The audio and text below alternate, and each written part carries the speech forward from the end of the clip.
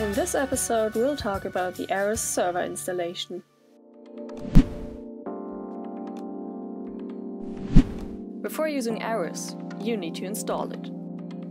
Make sure to download and save the ARIS software, the so-called ARIS DVD, and the license key file that you received from University Relations somewhere on your hard drive. Extract the zip file and navigate to the ARIS server folder. Double-click on Setup. Depending on your security settings, you may be asked several times whether or not you want to continue with the installation.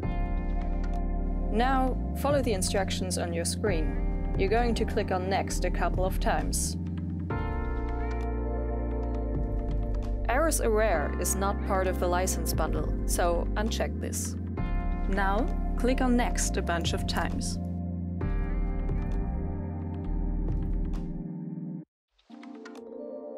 You'll receive a warning if your system does not meet the hardware requirements.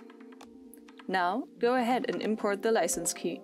Select the zip file that you received from University Relations and make sure it remains unzipped. Now, specify the mail server connection. This is extremely important when it comes to user management. Please see another video for this subject. Also, in another episode of our series, you can see how to start the server manually. Now, click on Install and don't interrupt the installation process. Depending on your system, this may take a couple of minutes up to half an hour, so please be patient.